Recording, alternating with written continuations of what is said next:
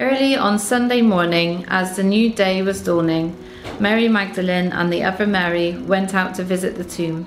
Suddenly there was a great earthquake, for an angel of the Lord came down from heaven, rolled aside the stone, and sat on it.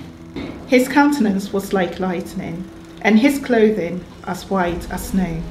And the guards shook for fear of him, and became like dead men. But the angel said to the woman, Do not be afraid. For I know that you seek Jesus who was crucified. He is not here, for he has risen. As he said, Come see the place where he lay.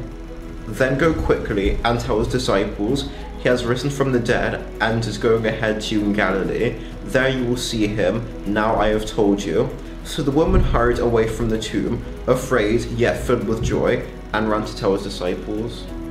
And as they went to tell the disciples, behold, Jesus met them, saying, Rejoice! So they came and held him by the feet and worshipped him. Then Jesus said to them, Do not be afraid. Go and tell my brethren to go to Galilee, and there, and there they will see me. As the women were on their way, some of the guards went into the city and told the leading priests what had happened. A meeting with the elders was called, and they decided to give the soldiers a large bribe. They told the soldiers, You must say Jesus' disciples came during the night while we were sleeping, and they stole his body. If the governor hears about it, we'll stand up for you so you won't get in trouble. So they took the money and did as they were instructed, and this saying is commonly reported among the Jews until this day. The eleven disciples traveled to Galilee, to the mountain where Jesus had directed them. When they saw him, they worshipped, but some doubted.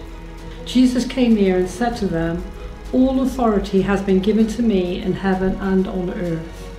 Go, therefore, and make disciples of all nations, baptizing them in the name of the Father, Son, and the Holy Spirit, teaching them to observe everything I have commanded you. And remember, I am with you always to the end of the age.